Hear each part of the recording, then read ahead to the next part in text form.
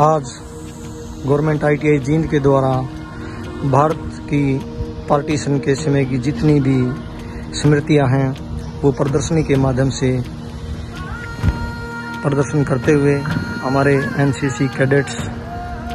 और याद दिला रहे हैं, हिंदुस्तान का विभाजन कैसे हुआ था और जितने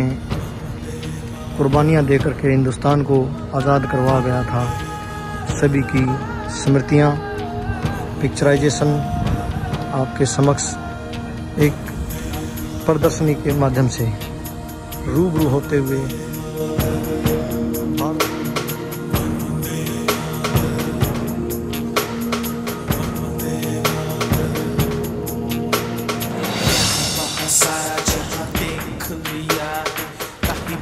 तेरे जैसा कोई नहीं है। नहीं सौ कहीं तेरे जैसा कोई नहीं।